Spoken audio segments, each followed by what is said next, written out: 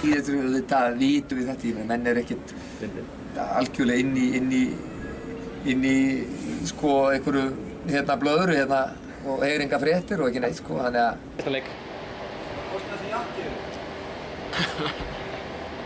Það er ekkert annað. Hann kjaftir hann að litla skýt. Já, ég er kannski ekki á góður að halda.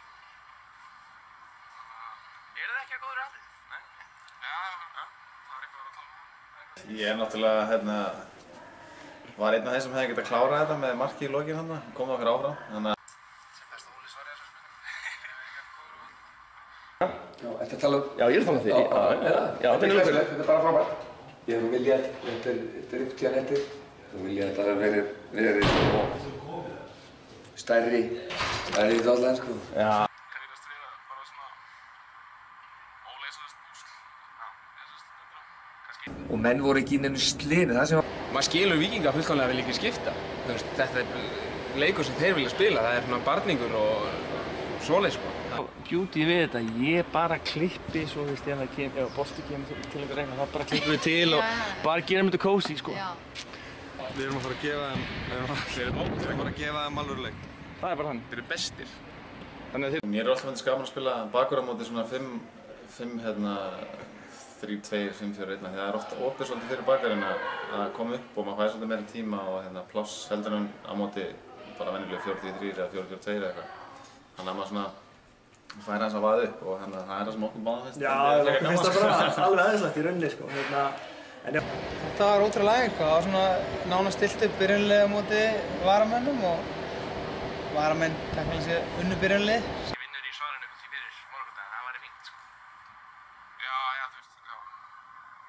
Ok, maður svarar voða lítið í viðtalið. Nei, ég skilja. Já, minna, við erum við talið um einhverja æfingu hérna, eða það er... Ég fókus að vika morgun, Stráð drífa sig til Grindavíkur á morgun og kíkja á okkur. Það er ekki leikurinn hér. Fyrsti leikurinn minn hérna á Valsveld. Fyrsti leikurinn er hér svo klippum þetta og svo betur við út. Nákvæmlega, það getur aldrei. Einhver loka orð fyrir, fyrir stundismenn. Hvaðjur eða eitthvað eitthvað svona okkur eða von frá fantasy. Það er bara... Leikir hafi verið drefleðilegir, maður hefur verið bara hlaupið vörð, sko. Já. En við törum kannski bara meira um það eftir leik, sko. En svo er náttúrulega, náttúrulega peningar í húfi og svona. Já. Og sömur eru, ekkert að tala um það, sko. Nei. Sömur verða bara litlir í þessu. En ég og eina séum bara peningana og, og hlaupum meira. Ólafur koni í nýja blúsu, ekkert mál. Þá verðum við í Andorra þegar að Guns N' Roses verður á löðsum. Þannig að Þú dansa, in this lifetime verður að vera in this lifetime hjá okkur. Þannig Já. að það kemur ekkert annað til greina en að slá út. sem er að hlusta á þetta viðtal átt að segja því að knaspirna er öðru heldur en handbolti og, og karfa og, blag og þessu viðþjóttir. Eina, þarf ég að fara að texta hennar hluta af viðtalinu eða svona heldur þetta skiljist fyrir svona hinn almenna valsara? þú voru örgulega að texta hluta Já, það er nákvæmlega vals. Siggi skilur þetta ekki. Er búin að tveir vestmenni eitthvað. Súmum maður það. Nei, Nei, nei, nei, nei, nei. Ég er bara frí. Nei, nei. Ég er bara klem sko. Við erum að tala um daginn og sagði, við erum að ropa hérna, ég sagði að hann myndi eiga toppleikin, já, ég kom inn, veistu, það voru átta kvikindi. Já, Úr það, 20 skotum. Það er svo leiðis. Það má ekki vera orðið þannig að, að, að þó að menn sé ekki búin að skora þetta í fimm minntu, þá er allt komið á límingunum, sko. Eða farið á límingunum. Það er réttir.